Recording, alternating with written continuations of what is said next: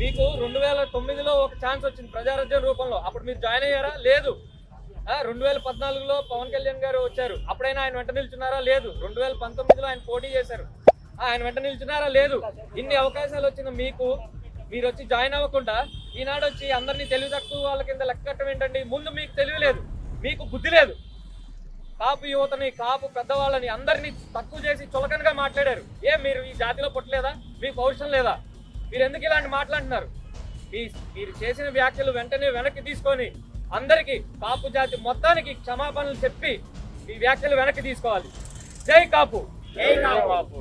గుంటూరు జిల్లా సత్తెనపల్లి నియోజకవర్గం YSR Congress party MLA Ambati Rambabu ఈ మధ్య ఒక ఛానల్కి ఇచ్చిన ఇంటర్వ్యూలో కాపు కులాన్ని తక్కువ చేస్తూ కాపులను అవమానించేలా కొన్ని వ్యాఖ్యలు చేశారు. ఈ వ్యాఖ్యలను వెనక్కి తీసుకోవాలని అలాగే కాపు కులానికి క్షమాపణ చెప్పాలంటూ కాపు సంఘాలు పెద్ద ఎత్తున అంబటి రాంబాబుకి లేఖలు రాశాయి. అయినా ఆయన నుంచి ఎటువంటి స్పందన లేకపోవడంతో ఈరోజు విజయవాడ ధర్నా చౌక్ దగ్గర కాపు యూత్ ఫోర్స్ అధ్యక్షుడు రొక్కం శివశంకర్ ఆధ్వర్యంలో పలువురు కాపు నాయకులు విద్యార్థులు నిరసన తెలిపారు. నా పేరు రొక్కం శివశంకర్ రాయలండి.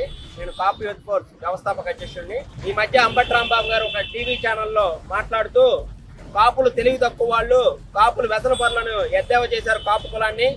ఇప్పుడు కూడా చెప్తున్నా కాపులు ఎందుకు ముఖ్యమంత్రి కాలేదు అని అడిగారు. కాపులు ఈ రాష్ట్రంలో ఎందుకు ముఖ్యమంత్రి కాలేదు అని అడిగినప్పుడు నేను కొన్ని కామెంట్స్ చేశాను. ఆ కామెంట్స్ ఇప్పుడు కట్టుబడి ఉంటారు. ఎప్పుడు కట్టుబడి ఉంటారు ఇప్పటికీ? అంటే సర్వే చేశారా ఏంటి మీరు? సర్వే అవసరం లేదు.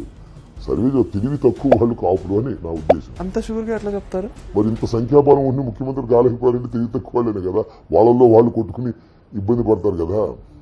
దట్ ఇస్ మై నా నా- నేను ఒక సామాజిక వర్గంలో పుట్టాను. ఆ సామాజిక వర్గం మీద నాకున్న అభిప్రాయం అది. తెలివి తక్కువ వాళ్ళు ఆవేశపరులు మాంసాన్ని ఎక్కువ తింటారు మందు బాగా తాగుతారు ఇవన్నీ ఉన్నాయి లక్షణాలు. మరి ఆయన కాపు ఓట్లతో గెలిచి కాపు జాతిని అవమానపరిచాడు. కాపుల్లో చాలా మంది మేధావులు గొప్పవాళ్ళు చదువుకున్న వాళ్ళు విజ్ఞా విద్యావంతులు ఉన్న ఈ సమయంలో కాపుల్ని తెలివి తక్కువ వాళ్ళన్నాం. కాపు జాతి మనోభావాల్ని దెబ్బతీసిందని తెలియజేస్తున్నాం. ఖచ్చితంగా కాపులకు అంబటి రాంబాబు బహిరంగ క్షమాపణ చెప్పాలి.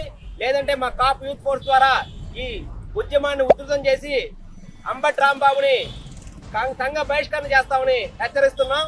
ఈ అంబటి రాంబాబు ఆ రోజు ఎలక్షన్ టైంలో జనసేనకి ఎక్కడ కాపులు ఓట్లు పడతాయని కాపులందరినీ బతిమలాడి అయ్యా కాపులందరూ నాకు ఓటేయండి నేను నాకు ఓటేయండి అని బతిమలాడి ఈరోజు కాపుల్ని ఎద్దేవా చేస్తున్నాడు.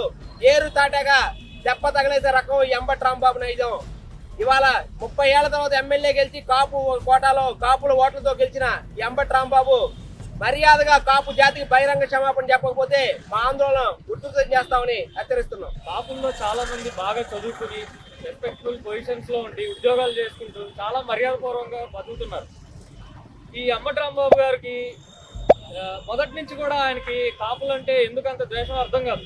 మొదటి చిరంజీవి గారి మీద వ్యక్తిగత దాడి చేశారు.